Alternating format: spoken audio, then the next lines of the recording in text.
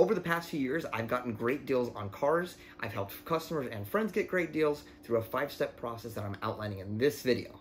Now make sure to watch through to the very end because I'm including bonus tips which you can then take to save thousands of dollars and the headache at the dealership. Keep in mind that patience and preparation are the most important factors of this entire process. Patience will allow you to get the best deal and preparation will allow you to know what the best deal is before you even set foot in the dealership. Let's cover the best time to purchase a car. At the end of every month, dealerships will typically need to meet their quotas and furthermore, at the end of the quarter will be the most important times for them to meet their, their quotas if in addition to that, there's a lot of holidays out there, such as President's Day, uh, Memorial Day, 4th of July, Labor Day, Black Friday, and New Year's Eve. On that note, New Year's Eve is the absolute best time of year to purchase a car because that's when all of the year end, quarterly and month end promotions will be in effect and the time when they need to meet the most quotas. The best time to purchase a used car is between the months of October and December, and that's because everybody else is coming to trade in their older models for the brand new models. That allows you to get the car that you want with all its features at a reasonable price. On the flip side, the worst time to buy a car is the beginning of the month when they have less urgency to cut deals on Saturdays when they don't have a lot of time for everybody and they are just less likely to give you the attention of the deals. And then during the summer when the prices are usually highest. Now that we have a better understanding of when the best time to purchase a car is, let's go into step one, which is understanding your current financial situation and how this car will fit into that mix. I'd say it's usually best to follow the 24-10 rule, which basically says you have 20% down payment for the car spread over a four-year term, which does not exceed more than 10% of your monthly budget. Now that 10% of your monthly budget would also include things like car insurance, um, repairs, maintenance, etc. If you are exceeding 60 months term or five years for the loan, then you probably cannot afford this car if you need to do that to meet the monthly budget that you're that you set for yourself. If you also have a car to trade in, this is also a good time to start looking at how much that car is worth and to consider selling it on your own private party or to consider trading that into the dealer.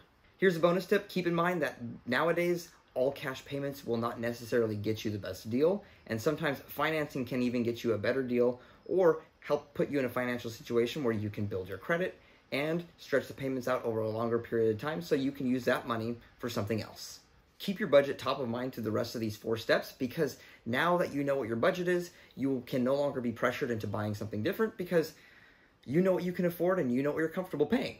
Step two is reviewing financing options. Now, the whole goal of this is to figure out where you're going to have the best rates and the best fees for the goal that you're trying to accomplish. Now, newer cars will have a lower interest rate because there's more value in them, and as they get older, they depreciate. And often they'll depreciate between 15 to 20% every single year. So if you're financing an older car, it's very likely that your interest rates will be significantly higher than the newer cars.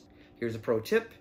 The credit unions that I've worked with in the past have always offered great rates in comparison to some banks and even the dealerships because dealerships will often want to take a cut of the financing and they get a payout there in addition to you purchasing the car from them.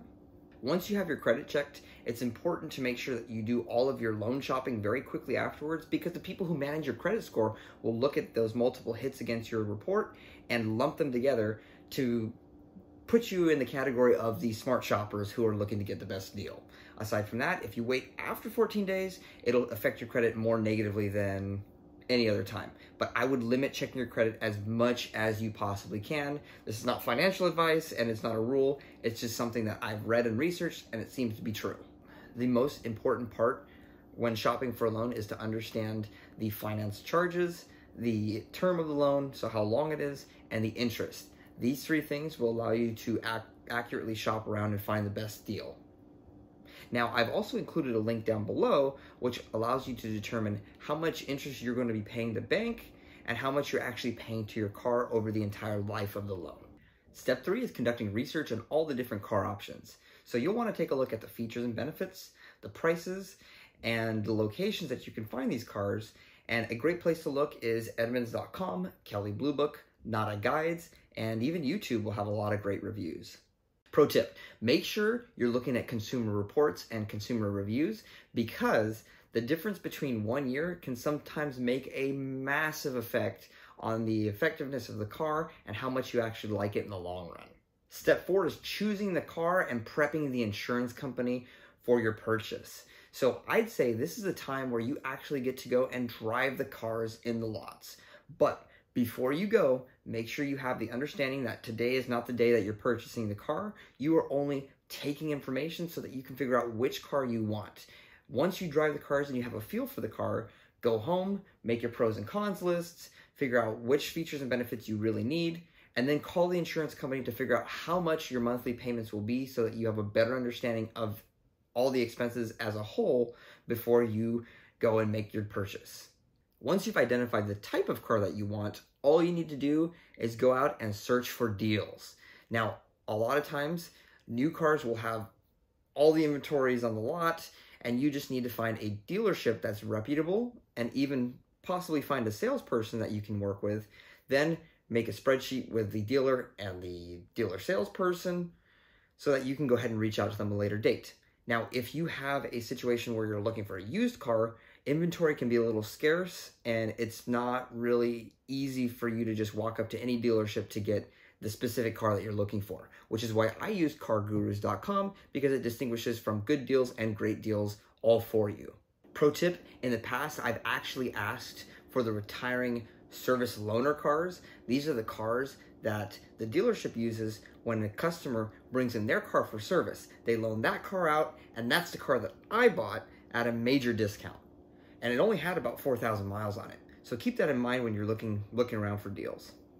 Sometimes dealers will offer a 0% interest or a zero down type of financing structure and make sure you're reading the fine print because there's times where they're just asking for large financing fees as a result of this and this goes for banks as well but just keep that in mind as you're looking for your loan step five is purchasing the car that you've decided on now once you've figured out what financing promotion you're comfortable with then i'd encourage you to look at the invoice price for the car that you're entertaining now, I'll include a free link down in the description so that you can check it out and figure it out roundabout what the dealer pays for the car that you're looking at. Hopefully you're making these phone calls toward the end of the month, but start calling up your reputable dealers and dealer reps and ask them to get you as close as possible to that invoice price. This will help you because they'll know that you're informed and that you know what you're doing. And then in addition to that, make sure you ask them to decline all additional add-ons that are not free.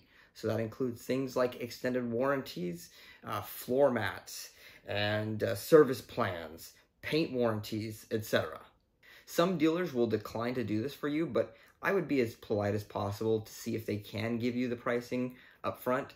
Ask them for the out the door bill so that you know exactly what you're paying and that there's no secrets behind everything. And in addition to this, there's a few fees that I would expect you to know that you're paying, and those are things like taxes, vehicle registration, uh, documentation fees, and these doc fees vary state and state to state and dealer to dealer. But um, the more you can negotiate on the purchase price of the actual car, the less these things will matter. Dealer and advertising fees are also tacked on.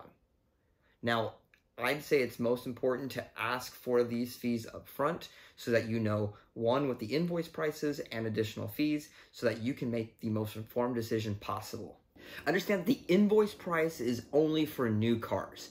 When you're working with used cars, stick to cargurus.com and different listings that you see out on the internet so that you can get a good idea of what that car would cost. As we discussed in the beginning, make sure that you're going at the end of the month, quarter, end of the year, so that you're capitalizing on all the dealer incentives that are potentially out there waiting for you to come in and to take. Keep an eye out for these things when you're looking at your financing documents. And those are things like gap coverage, which is basically whatever your car is worth and whatever the loan is amount is for, the gap coverage will come in and cover the difference between that in the event that you total your car. In addition to that, you can also see potentially balloon payments, which you must avoid at all costs. Balloon payments are large sums of money that are are put on the back end of the loan and you're expected to pay those after you've been making all your consistent payments for a certain amount of time. Keep an eye out for high interest rates. Good interest rates are usually between 3 and 5%, but I've seen things as high as 16 plus percent. So be careful of that. Additional fees in your in your loans. Um, it's often there's often fees for finance charges, and that's normal. But just see if you can get that as low as possible. And then early payoff penalties. If That affects you in the event that you'd like to refinance or you decided to make multiple payments in a given month. Hopefully, by this point, you've identified a few salespeople who have given you great out the door prices, have not added on anything else, and now you'll be able to schedule appointments with them. Keep in mind that when you are going to the dealership, you should expect to spend several hours there. So make sure you've eaten enough, you're wearing comfortable clothes, because yeah, you'll be there a while. While you're at the dealership, see if you can negotiate a few more free things, such as oil changes, maybe free service for a year, just different little things that they might be able to offer you to sweeten the deal.